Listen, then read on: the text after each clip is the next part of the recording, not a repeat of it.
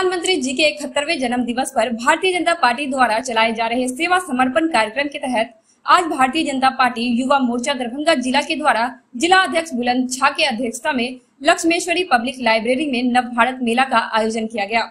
इस कार्यक्रम का उद्घाटन दीप प्रज्वलित कर मुख्य अतिथि के रूप में दरभंगा के सांसद गोपाल जी ठाकुर ने किया। इस नव भारत मेला के माध्यम से केंद्र व राज्य सरकार के द्वारा चलाए जा रहे जन कल्याणकारी योजनाओं की प्रदर्शनी लगाई गई।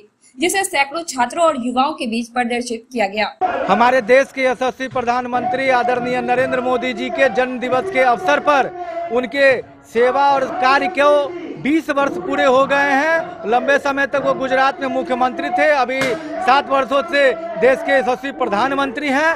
उनके सेवा कार्य में 20 वर्ष पूर्ण होने पर हम सभी भारतीय जनता पार्टी के कार्यकर्ता इसे 20 दिनों तक इसे सेवा और समर्पण कार्यक्रम के तहत मना रहे हैं। इसी कार्यक्रम के तहत आज भारतीय जनता युवा मोर्चा के द्वारा स्थानीय लक्ष्मेश्वर पब्लिक लाइब्रेरी में केंद्र सरकार के द्वारा, मोदी जी के द्वारा चलाए जा रहे जन कल्याणकारी योजनाओं, खासकर युवाओं के लाभकारी जो योजना है, उसके एक प्रदर्शनी लगाए थे।